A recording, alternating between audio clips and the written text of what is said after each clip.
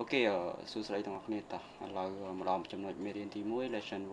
1យើងនឹងនិយាយអំពីការស្គាល់ tool និងការប្រើប្រាស់ tool ចំនួន4មួយមាន direct selection tool មួយទៀតហ្នឹងស្អី selection tool មួយទៀតហ្នឹងមាន direct selection tool ហើយមួយទៀតហ្នឹងមាន group មួយគឺគឺទូនាទីផ្សេងផ្សេងគ្នាអញ្ចឹងយើងចាប់ផ្ដើមស្គាល់ទៅនឹង tool ទី1នេះគេហៅ selection tool នេះវានៅសញ្ញាព្រួញកន្លែងនេះគេហៅថា selection tool គឺវាមានទូនាទីក្នុងការរំកិលនៅ object នេះទៅឧទាហរណ៍ថាខ្ញុំមាន object នេះមួយអញ្ចឹង object នេះគឺមានន័យថាវានៅដាច់ដោយឡែកអញ្ចឹងចង់រំកិល object ហ្នឹងគឺយើងឈរនៅលើ select tool ហ្នឹងហើយយើងចុចនៅឧទាហរណ៍រំកិលទៅខាងនេះខាងនេះឃើញទេអាហ្នឹងគឺសម្រាប់ធ្វើការរំកិលអញ្ចឹងអញ្ចឹងទូនាទីរបស់វាគឺសម្រាប់ធ្វើការរំកិលនៅ object object មានន័យថានេះគេហៅថា object ឧបករណ៍មួយហ្នឹង ហើយមួយទៀតនឹងតទៅនឹង direct selection tool direct selection tool មានន័យថាវាធ្វើការជា tool មួយសម្រាប់ធ្វើការ select នៅផ្នែកណាមួយឧទាហរណ៍ដើម្បីចូលទៅវាបានគេអាចចុចអក្សរ A ក៏បានឬមួយក៏ shell កន្លែងនេះចុចឲ្យជាប់ហើយជ្រើសរើសចុចឆ្វេងជាប់ហើយជ្រើសរើសពី direct selection tool ឧទាហរណ៍ថាខ្ញុំមាន object នេះមួយទាំងអស់គ្នាពិនិត្យមើលនៅខាងកាយណាខាងកាយនឹងមានអាផាតចំណុចចំណុចនេះគេហៅថា anchor point ចំណុចចំណុចនេះណានៅពេលយើងចូលលើ object ណាមួយគឺវានឹងចេញនៅ selection tool direct selection tool អញ្ចឹងបើសិនជាយើងចង់ជ្រើសរើសកន្លែងនេះឧទាហរណ៍ថាខ្ញុំឈើនៅនេះចង់ទាញកន្លែងនេះគឺយើងគ្រាន់តែឈើនៅ direct selection tool បន្ទាប់មកទៀតគឺយើងចុចឲ្យជាប់ចំ anchor point វាមានពាក្យ anchor point គ្លិកឲ្យជាប់ហើយចាប់ទាញមកឃើញទេអញ្ចឹងវានឹងធ្វើការផ្លាស់ប្ដូរនៅចំណុចណាមួយដែលយើងចង់ធ្វើការកាយតម្រូវឬក៏ពុតពេលនេះគេប្រើប្រាស់ direct selection tool នឹងមកនេះឃើញទេ វាជ្រើសរើសតែកន្លែង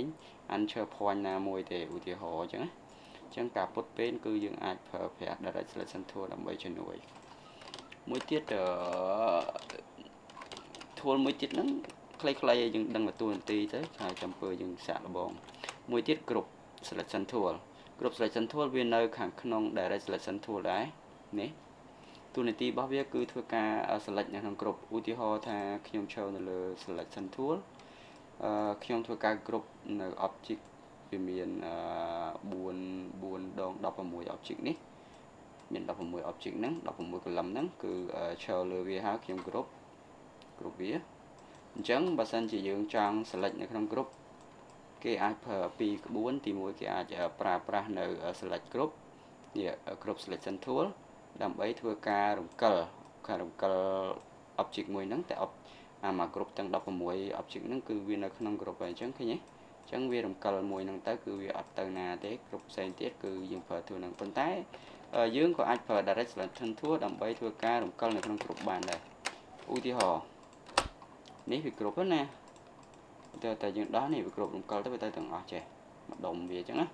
អញ្ចឹងឧទាហរណ៍ថាយើងចង់រំកិលតែ object នេះមួយអញ្ចឹងយើងអាចប្រើប្រាស់នៅ direct selection tool បានដូចគ្នាគឺ select អញ្ចឹងមក ឃើញទេចេញអាចកត់បានដូចគ្នាបាទអូខេហើយអឺ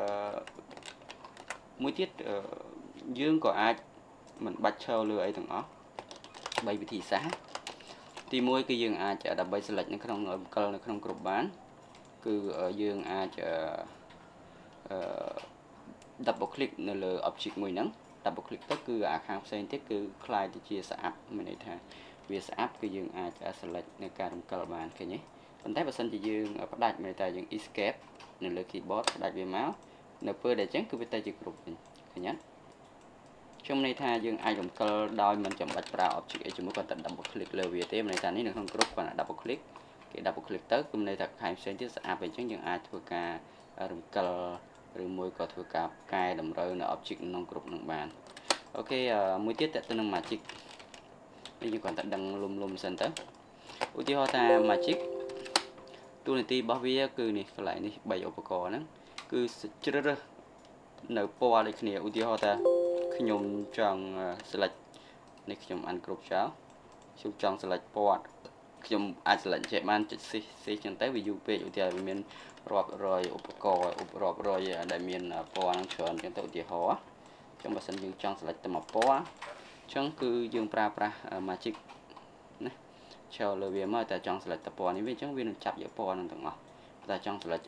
អាពណ៌ដូចគ្នាគឺវានឹងចាប់យកពណ៌ដូចគ្នា select ពណ៌នេះគឺនឹងចាប់ពណ៌លឿងដូចគ្នាអញ្ចឹង Magic Tool គឺមានមានមានសម្រាប់អញ្ចឹងសម្រាប់ធ្វើការចាក់ពណ៌អញ្ចឹងណាចឹងឃើញទេឧទាហរណ៍ថាយើងចង់ជ្រើសរើសពណ៌ទាំងអស់នេះបើយើងចុចម្ដងមួយក៏បានដែរប៉ុន្តែបើយើងចង់ជ្រើសរើសពណ៌ទាំងអស់គឺយើងប្រើ Magic Tool ហ្នឹងបើចុចចឹងមកហើយទៀតខ្ញុំចម្លងពណ៌យ៉ាងហ្នឹងអញ្ចឹងវានឹងទៅរឿងទាំងអស់ អូខេអញ្ចឹងទូនាទី3វាមានតែប៉ុណ្្នឹងទេឧទាហរណ៍ថាខ្ញុំចង់ជ្រើសរើសពណ៌សនេះខ្ញុំអាចនេះវាមិនមែនជា object ខ្លាចជានេះណាខ្លាចជារូបថតណាឥឡូវម្ដងទៀត tool នេះគឺសម្រាប់ធ្វើការរំកិលកិល object ពង្រីក object នេះ ហើយ tool មួយទៀតនេះគឺសម្រាប់ធ្វើការ select នៅផ្នែកណាមួយនៃ object ឧទាហរណ៍ថាខ្ញុំមាន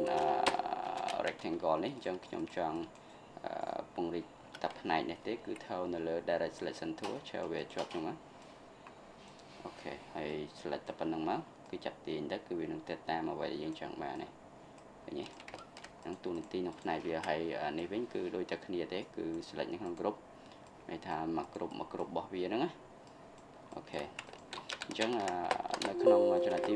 1ខ្លីតែប៉ុណ្្នឹងទេវាអត់មានអីច្រើនទេអញ្ចឹងទាំងអស់គ្នាត្រូវស្គាល់ tool សិនមុននឹងអាចធ្វើការ design បានឬក៏ប្រើប្រាស់នៅក្នុងកម្មវិធី Illustrator បាទអរគុណសម្រាប់ការទស្សនា